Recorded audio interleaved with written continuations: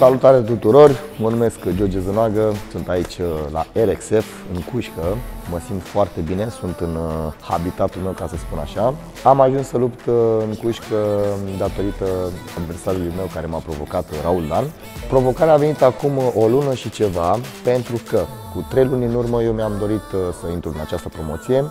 Am făcut niște TikTok-uri, îmi căutam un adversar, la rândul lui și Raul Dan își căuta un adversar, însă pe parcurs se pare că Raul Dan a primit niște taguri cu numele meu, prin care lumea îi cerea să facă un meci cu mine, iar de acolo el a început cu provocarea către mine, eu i-am răspuns și de aici a început acest, acest eveniment frumos pe care cred eu că o să-l câștig. Nu ne cunoaștem personal, L-am văzut doar pe TikTok, urmează să, să ne cunoaștem și live. A făcut uh, ceva sport de contact când era mic, chiar uh, am înțeles că și Krav Maga, lupte, box uh, și așa mai departe. Deci este un adversar puternic, pregătit, nu o să subestimez și o să-l iau foarte în serios.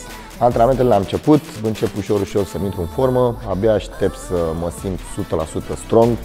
Avantajele mele sunt explozia, forța și viteza. Și pe lângă asta inima.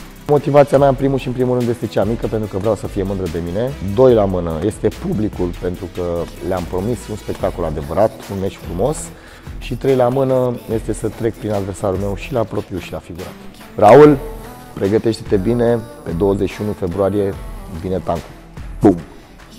Îmi doresc ca publicul, spectatorii, cei care se uită pe online, să susțină toată gala, să susțină toți sportivii, să susțină tot acest eveniment pentru că este unul dintre cele mai mari din România și cu siguranță pe 21 februarie va fi spectacol total.